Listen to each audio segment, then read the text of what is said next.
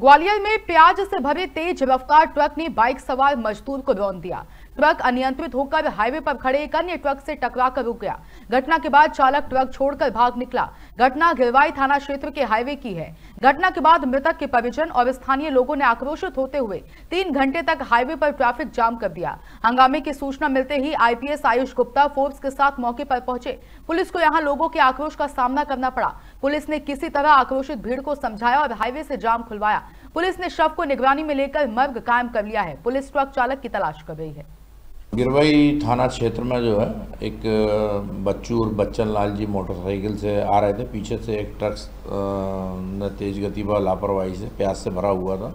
टक्कर मारी, जिससे उनकी घटनास्थल पर ही नीचे गिरने से एक्सीडेंट के बाद चोटें लगने से मृत्यु हो गई। उनके लड़के की रिपोर्ट पर से जो है अपराध पंजीबद्ध किया गया प्रकरण की विवेचना की जा रही है। ट्रक को जब्त किया जाएगा, आरोपी गिरफ़्तार किया जाएगा।